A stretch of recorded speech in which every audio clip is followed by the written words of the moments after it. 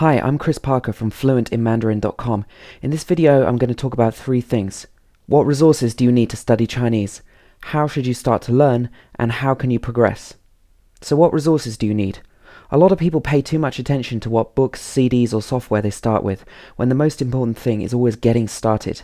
Still, my advice would be to find materials that have text in Chinese characters, pinyin, which is the way you write the sounds of Chinese using the Roman alphabet, and decent glossaries or English translations. Also, the more CDs or recordings to go along with the course the better, and avoid podcasts or courses that have a lot of English chat. In fact, I created my own beginner's video course with the help of native speakers, Survive in Chinese, because I wanted people to be able to understand the basics of Chinese quickly for practical use. You can go to my website and check it out there. Other beginners courses that I like and I've used before include FSI Chinese, although it has limited Chinese characters, Pimsleur and Assimil. People often ask me which course is the best, and the answer is, firstly, different people are suited to different approaches, so you can just go along with your instinct and choose what appeals to you.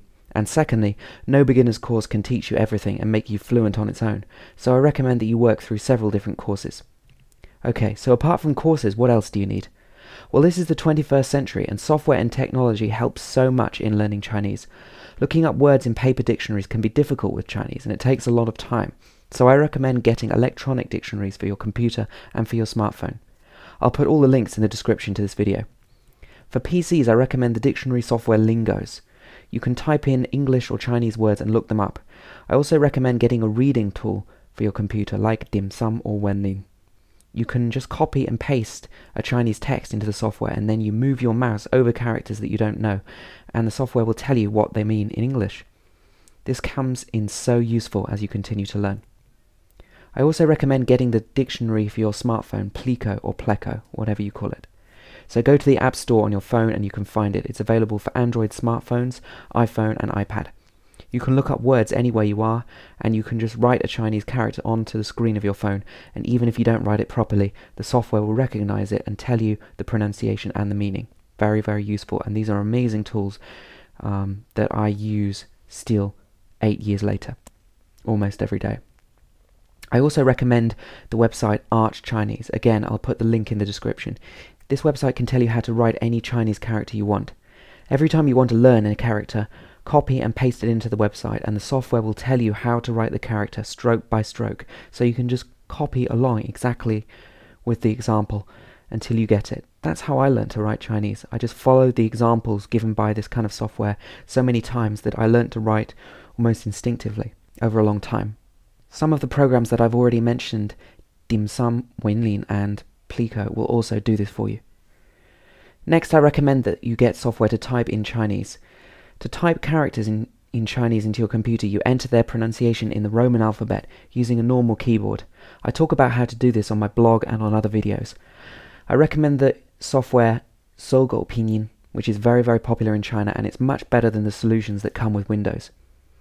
If you can type in Chinese, then you can enter words into your computer and look them up very easily in electronic uh, dictionaries and other software.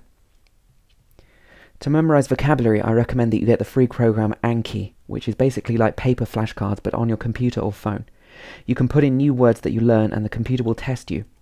Remember to learn whole sentences, not just individual words, so you actually know how to use the vocabulary in context. Okay, so that's resources. So how do you actually start out learning Chinese? Well, I recommend you that you start by familiarizing yourself with the sounds of Mandarin Chinese and the good news is that there are not as many of them as there are in some other languages.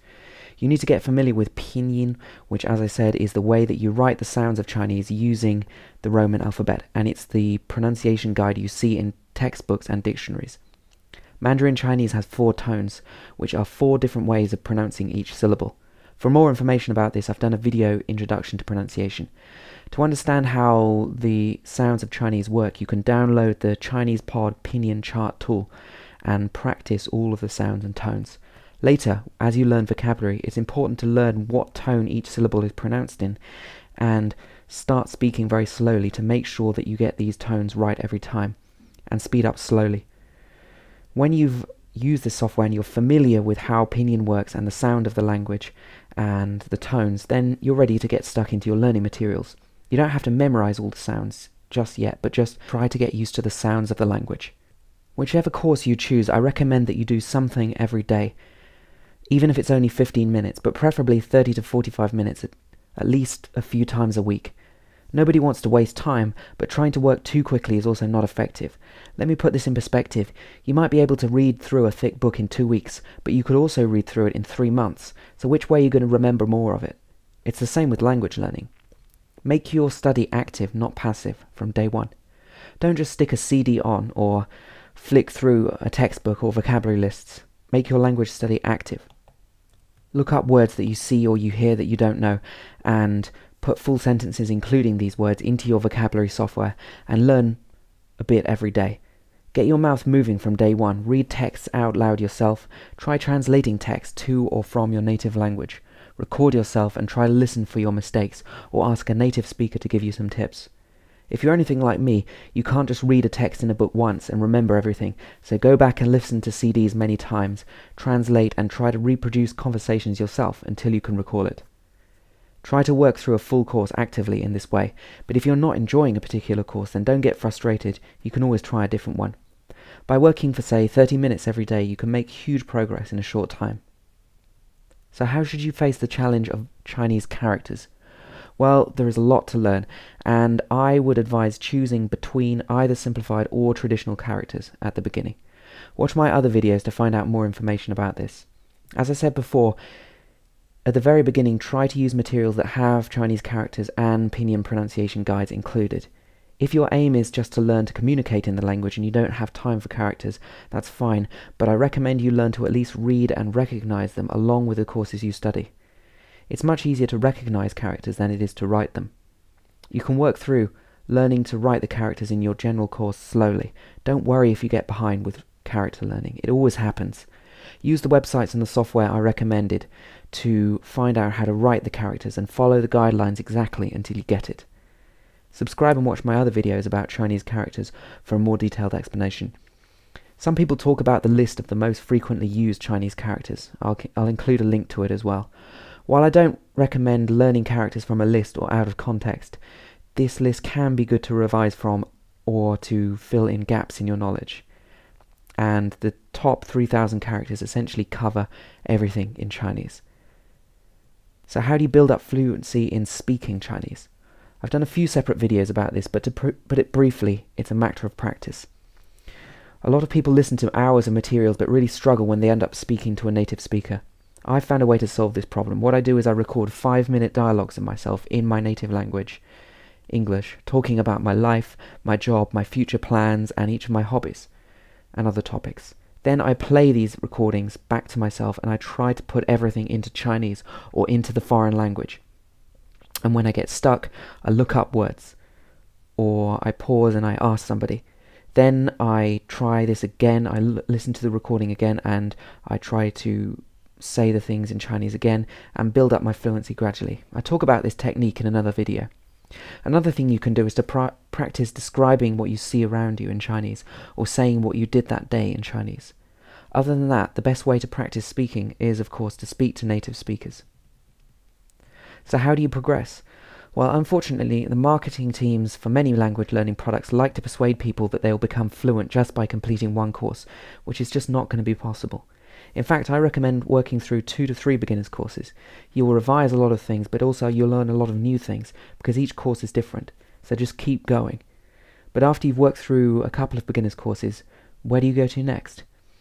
When you're choosing more materials, remember to keep them at what Stephen Krashen, who's a language acquisition expert, calls the plus one level.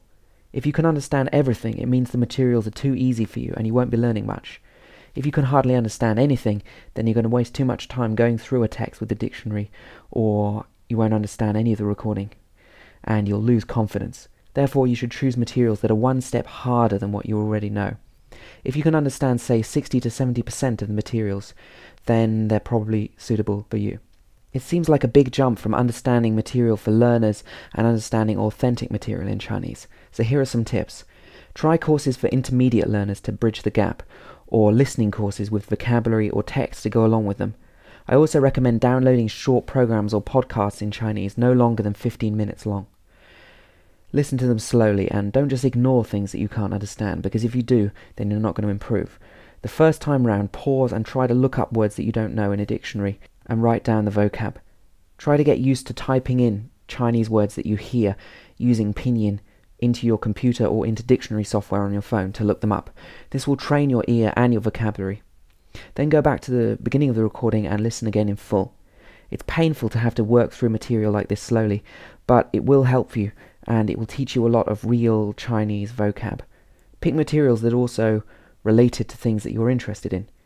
You can also watch simpler TV entertainment and chat shows because most Chinese TV has subtitles to help you. You can continue to speak with native speakers, trying to expand the variety of topics that you can talk about. You can study from bilingual texts or translations, and you can also learn from Chinese subtitles of English TV shows, which you can find online. All of these activities will be helpful. Remember that you can vary the activities that you do. If one particular activity gets boring, then just move on to a different activity and keep going. Sometimes you might want to work through texts in a lot of detail, looking up a lot of things. Sometimes you might want to listen to a little bit more without getting so involved and listen for rhythm and try to pick up the general gist. Don't worry about making mistakes. Chinese people love foreigners learning their language and they're very tolerant to mistakes that you make. You can also learn a lot from listening to your mistakes or asking native speakers to comment about them.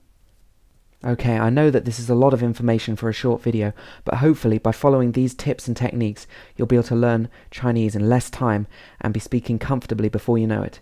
Please do help me by liking this video and sharing on Facebook and Google+, etc. And don't forget to subscribe and also check out my website, fluentinmandarin.com, for loads more information. And leave me your comments to let me know how you're getting on. Thanks for watching.